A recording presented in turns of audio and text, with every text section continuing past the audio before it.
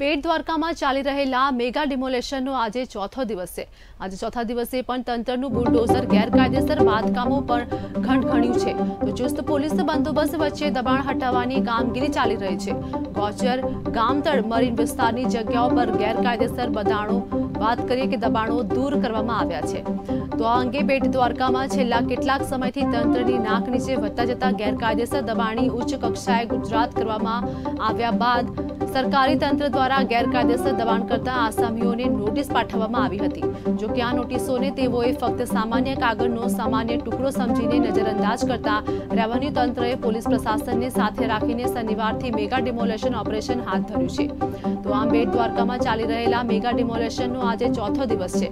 Range આઈજીના સીધા માર્ગદર્શન હેઠળ અને દેવભૂમિ દ્વારકા જિલ્લા પોલીસ વડા નિતેશ પાંડેની રૂબરૂ ઉપસ્થિતિમાં આજે સતત ચોથા દિવસે દબાણ હટાવવા ઝુંબેશ ચાલી રહ્યા છે. જેમાં અનધિકૃત પાકા બાંધકામ પર સરકારી બુલડોઝર ફેરવામાં આવી રહ્યું છે.